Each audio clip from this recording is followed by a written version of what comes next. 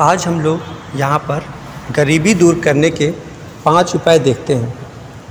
पहला उपाय है, अपने काम को पूरी लगन और निष्ठा से करो। आपको जो भी काम मिला है, उसमें अपना हंड्रेड परसेंट दीजिए। काम को पूजा मानकर कीजिए। कोई भी काम, छोटा या बड़ा, नहीं होता। सारे काम अच्छे होते हैं। आपको जो काम मिला है, वो अच्छा है। यही मानकर काम कीजिए। गरीबी दूर करने का दूसरा उपाय है, मेहनत से भागो मत, खूब मेहनत करो।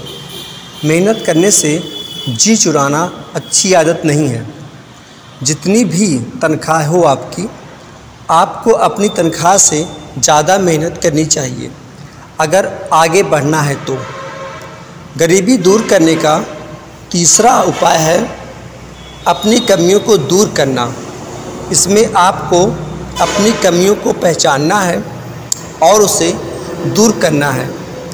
ये कमियाँ कैसे भी हो सकती हैं, जैसे आपके व्यवहार में कमी, शिक्षा में कमी, प्रैक्टिस में कमी इत्यादि।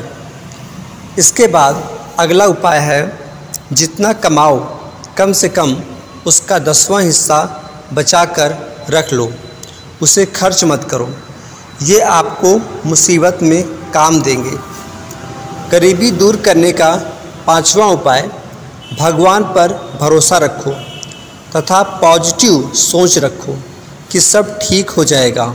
क्योंकि एक बात जान लो, ईश्वर के आदेश के बिना एक पत्ता नहीं हिलता।